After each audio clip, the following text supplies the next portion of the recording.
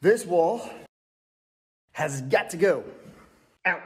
But there are a couple things we have to figure out first. Anytime you take a wall out, you're gonna create a point load there, point load there. Beam all the way across the front.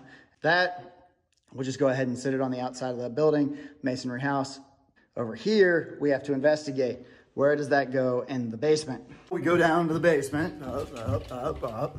Upstairs, I took two measurements. Measured from the back wall forward, from the side wall out. That'll give us a little spot there-ish, and then figure out where that point load lands and what it's landing on.